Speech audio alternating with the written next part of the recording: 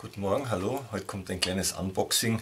Wollte ich eigentlich gestern schon machen, aber gestern kam mir der Motorrad-Teilemarkt dazwischen. Ich habe die Packung noch zu, aber ich weiß schon, was drin ist.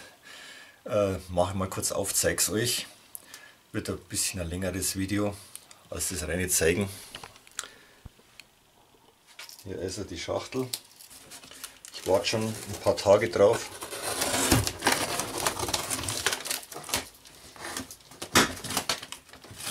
Wieder was zum Thema Bundeswehr übrigens. Ausrüstung der alten Bundeswehr.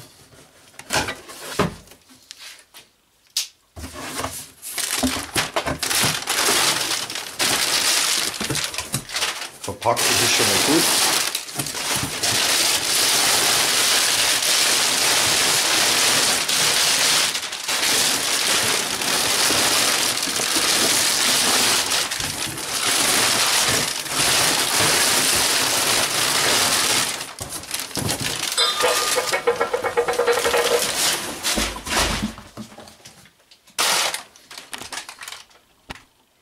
Mehr wie gut verpackt. Habe ich wieder Verpackungsmaterial. Es geht hier um ein paar alte Bundeswehr-Knobelbecher in meiner Größe. Habe ich schon länger äh, danach gesucht. Meine habe ich irgendwo, keine Ahnung, wo ich die mal hingebracht habe. Ob die hin waren oder ob ich sie verkauft habe, ich weiß es nicht mehr. Einfach, die waren am Ende nach vier Jahren. Und so eine wollte ich unbedingt mal wieder haben. Ich werde sie jetzt mal hier ähm, bisschen aufarbeiten. Mache ich immer, wenn ich was aus Leder kaufe, das wird sofort gereinigt und versorgt. Das heißt äh, geölt und gefettet. Das Leder ist ja schon alt und je früher man da was macht, desto länger halten die Teile. Zum Stiefel nachher ein bisschen mehr. Ich werde jetzt erstmal hier ein bisschen Pflege machen. Das heißt Pflege, die werden jetzt erstmal mit Leder- und Sattelseife wird das Leder gewaschen, um den alten Schmutz zu entfernen, das alte Fett und Staub und um die Poren des Leders zu öffnen. Benutze ich immer. Das Leder braucht Feuchtigkeit. Ich habe jetzt mal sauber abgeseift hier. Allein das ist schon eine gute Pflege.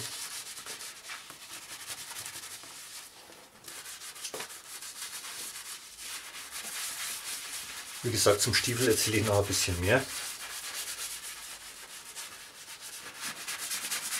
Jetzt mache ich die erstmal beide. Seife die ein und lasse sie trocknen. Nach dem Trocknen bekommen sie erst Lederöl und dann Lederfett, wie bekannt, habe ich ja schon oft gezeigt.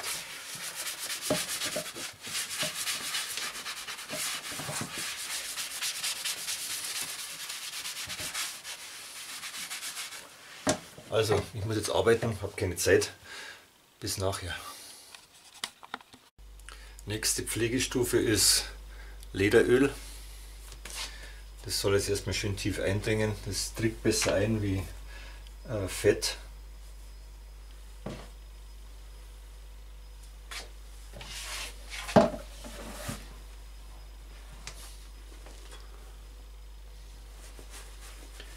Einmal durchölen, einziehen lassen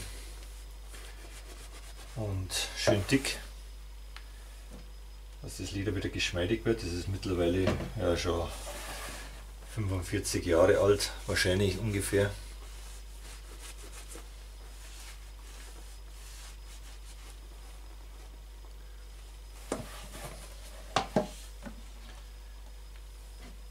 Am Schluss gibt es noch Fett oder schwarze Schuhwichse von der Bundeswehr, damit das Leder wieder geschwärzt wird. Das langweilt euch bestimmt, also schalte ich wieder ab. Jetzt gehen wir in die dritte Pflegerunde. Als letztes kommt jetzt noch ein gutes Lederfett drauf, dass ich das richtig äh, nähern und vollsaugen kann, das Leder. Ich weiß nicht, wann der Stiefel das letzte Mal gepflegt worden ist. Und dann ist es vorbei mit der Pflege, dann könnt ihr es mal anschauen.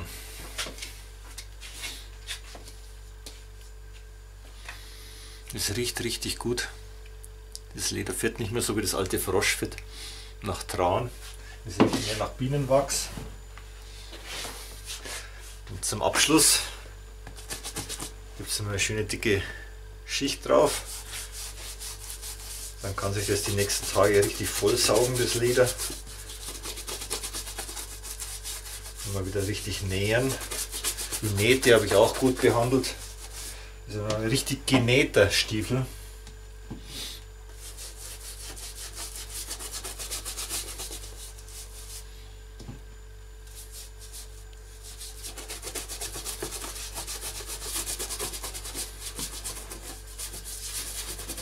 Also, machen wir wieder Pause. So, jetzt wollen wir mal kurz über den Knobelbecher, den sogenannten Knobelbecher sprechen. Früher auch Marschstiefel genannt. Ähm, ein typisch deutscher Soldatenstiefel, der vom Kaiserreich über den Ersten Weltkrieg Reichswehr, dann Wehrmacht im Zweiten Weltkrieg und später in der frühen Bundeswehr, sagen wir bis äh, Anfang Mitte der 70er Jahre, ausgegeben und verwendet wurde. Natürlich gab es noch Spezialstiefel für bestimmte Teileinheiten, für Fallschirmjäger, Gebirgstruppe, die anderes Schuhwerk benötigten, aber die normale Infanterie äh, oder das Gros der Bundeswehrsoldaten wurde mit dem Knobelbecher ausgerüstet. Ähm, bekannte Geschichte, er hat einmal eine Hauptrolle gespielt, dieser Knobelbecher, dieser Marschstiefel, und zwar in dem Film Im Westen nichts Neues von Erich Maria Remarque, wenn nicht dem bekanntesten Antikriegsfilm, wo, äh, wo die jungen Soldaten Anfang des Ersten Weltkriegs ins Felde gezogen sind und ein reicher Sohn sich äh, seine Knobelbecher Hand anfertigen hat lassen von einem Schuster aus besonders gutem und weichem Leder und der ist dann als erster gefallen und die Stiefel wurden dann von einem an den anderen weiter vererbt und alle, die den Stiefel getragen haben, sind letztendlich gestorben. Ich zeige euch jetzt mal das Modell des Bundeswehr-Knobelbechers, äh, des frühen Modells, sage ich mal so. Es gab nachher noch eine Abänderung von der Sohle. Das ist also dieser Stiefel. Ihr habt ihn schon gesehen, wie ich ihn gepflegt habe. Es ist noch einer, der eine richtige Brandledersohle hat. Später ist dann eine äh, Gummisohle gekommen, wie sie auf den Springerstiefeln war und die wurden weiterverwendet als Bordstiefel, als sie schon als Knobelbecher nicht mehr ausgeliefert wurden. Was noch als ein markantes Merkmal war von den frühen Bundeswehr-Knobelbechern, das war dieser Metallbeschlag an der Stiefelspitze. Sollte wohl gegen Abnutzung sein. Konnte man natürlich auch als Waffe benutzen, diesen Stiefel. Der war noch extrem hart. Mit dem Stiefel ein Schlag aufs Schienbein, da machst du nichts mehr anders wie bei der Moosgummisohle heute. Auch der Absatz war aus Leder. Der ist bis hier Leder, unten bloß eine Gummiauflage. Im Gegensatz zum Wehrmachtsknobelbecher, der noch eine genagelte Sohle hatte mit Eisennägeln, die die Kälte besonders gut geleitet haben im Winter, hat der hier diese typische Rippsohle, dieses Profil. So einen Stiefel wollte ich haben, mit dieser aufgenähten dünnen Gummisohle mit diesem Profil. Es gibt auch noch die modernere Variante, wie ich ja schon erzählt habe. Was noch besonders war bei den Knobelbechern, das waren diese Stoffflaschen links und rechts. Die konnte man dann nehmen zum Anziehen, da konnte man am Stiefel ziehen, da konnte man anziehen. War eine Herausforderung, die einzulatschen zum Marschieren nicht unbedingt gut. Haben mir mal ganz, ganz böse Blasen gelaufen beim Leistungsmarsch, weil ich gemeint habe, ich muss mit denen laufen. Aber im Alltag habe ich sie geliebt im normalen Dienstbetrieb. Man konnte sie schnell ein- und ausziehen, waren relativ bequem, wenn sie eingelatscht waren. Was gibt es noch zu sagen? Ja, mittlerweile relativ selten. Habe jetzt länger geschaut, dass ich einen bekomme. Meiner wurde im Dienst verschlissen. Habe ich wahrscheinlich mal weggeschmissen, habe nicht mehr gefunden. Habe ich mir mal wieder besorgt. Gesehen habt ihr, wie ich sie gepflegt habe. Das Leder ist jetzt wieder schön weich und geschmeidig. Ich werde es jetzt ein paar Mal tragen müssen. Die sind, haben wenig Kilometer drauf, die sind auch relativ in einem neuwertigen Zustand. So viel zum Thema Knobelbecher. Übrigens die NVA hat auch äh, ähnliche Schuhe verwendet bis zum Schluss, also keine Schnürstiefel. Die waren ja da eher ein bisschen uniformmäßig äh, der Wehrmacht angepasst im Vergleich zur Bundeswehr, die ja mehr die amerikanische Linie angezogen haben. Wobei die, bei den Stiefeln sind sie am Anfang beim Knobelbecher geblieben. So viel zum Bundeswehr Knobelbecher der frühen Jahre. Ich hoffe, es hat euch interessiert. Bis zum nächsten Mal. Ciao.